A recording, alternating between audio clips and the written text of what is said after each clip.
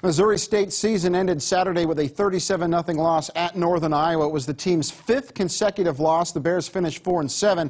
In mid-October, the Bears were 4 and 2 and ranked 24th in the country, but the season soured from there.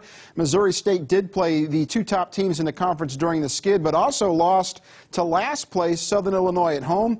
Dave Steckel has not won more than four games in each of his four years and is 12 and 32 overall.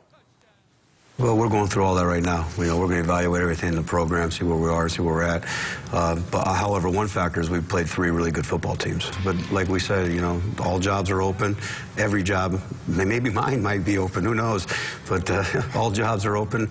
We go out there, we compete.